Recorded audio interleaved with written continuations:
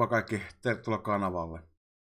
Suomi ja muut EU-maat saavat sutta ja sekundaa. Kiinan tulli alkaa nyt tarkkailla suojavarusteiden laatua. Syyni joutuvat muun muassa hengityssuojaimet ja hengityskoneet. Made in China merkintä löytyy nyt monesta lääketieteellisestä varusteesta ja koneesta koronavirusta pitää tutkiminen mar- maailman markkinoille, kun tavarasta on globaali huutuva pula. Kysyntään yritetään vastata tavallisesta poikkeuksen ratkaisulla. Suomessa osa karvaasta koronakalkkia, kun huoltovarmuuskeskuksen nostamat suojavarusteet paljastuvat sekundaksi. Maksuhäiriöisen liikemiehen Onni Sarmasta ja talousrikoksesta tunnetun Tiina Jylhän kanssa solmitut kaupat koskevat materiaalia, joka ei pystykään käyttämään sairaalassa huonon, huonon laadun vuoksi.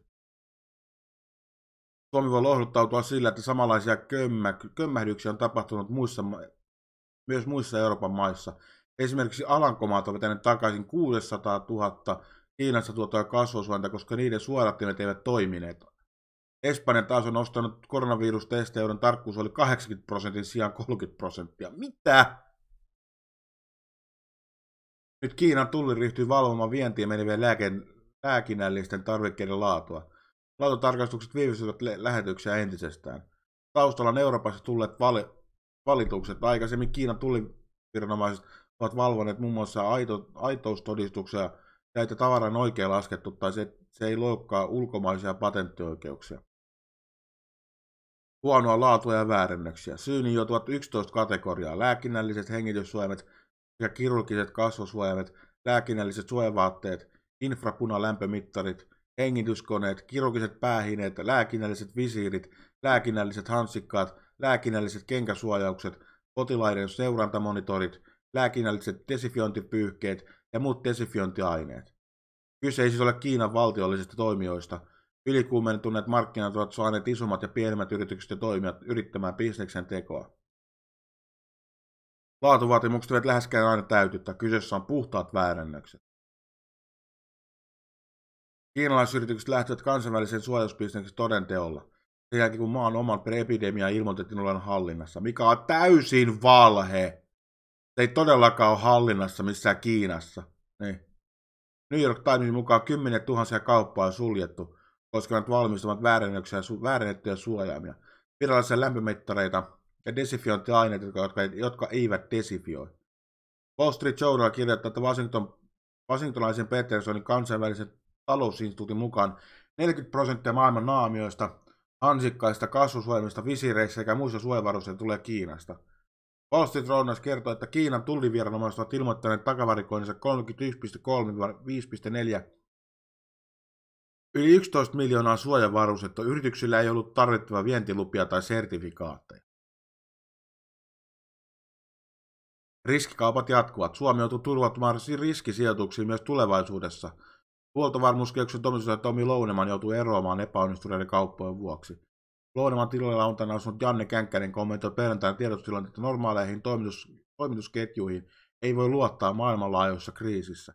Akuutista käyttötarpeesta johtuva tilanne on johtanut siihen, että eri toimijat joutuvat turvautumaan hankintakanaviin, joiden riskitaso voi olla huomattavan korkea, Känkkäinen sanoi.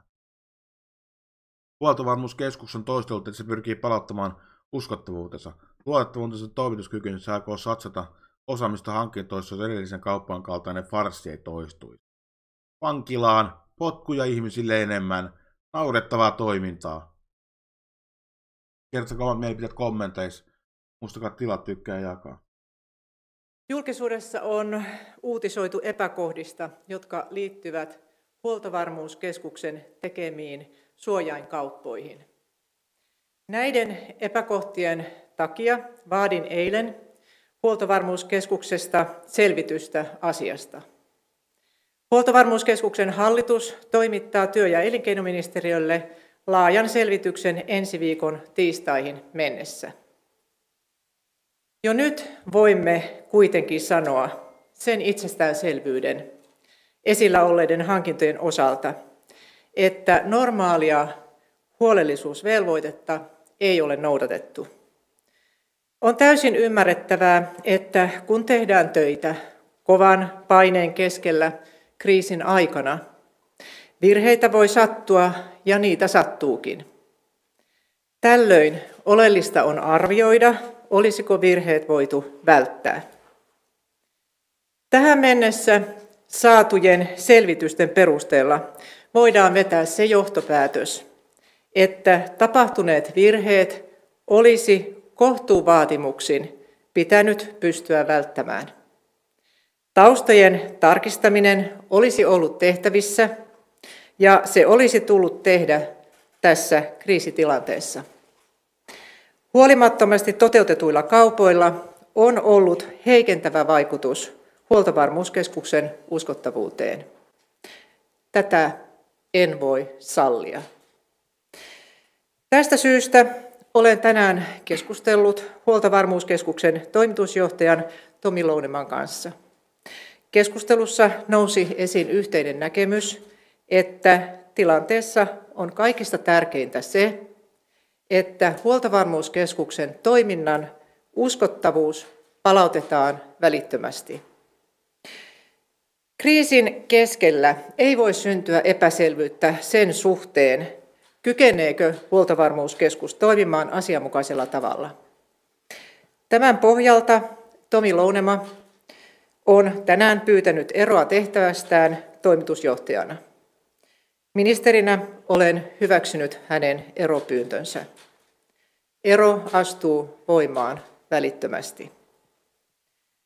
Toimitusjohtajan eron johdosta olen tänään nimittänyt väliaikaiseksi huoltovarmuuskeskuksen toimitusjohtajaksi työ- ja elinkeinoministeriön virkamiehen johtaja Janne Känkäsen.